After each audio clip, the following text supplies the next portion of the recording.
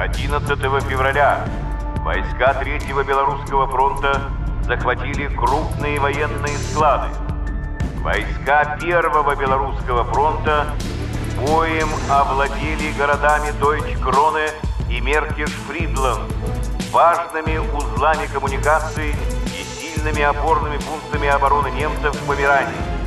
Войска Первого Украинского фронта форсировали реку Одер северо-западнее города Бреслау, прорвали долговременную оборону немцев на западном берегу реки и за четыре дня продвинулись вперед до 60 километров. В Будапеште продолжались бои по уничтожению окруженного гарнизона противника, в ходе которых наши войска заняли 45 кварталов.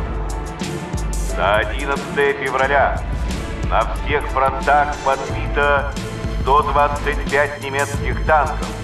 В воздушных боях и огнем зенитной артиллерии сбито 43 самолета противника.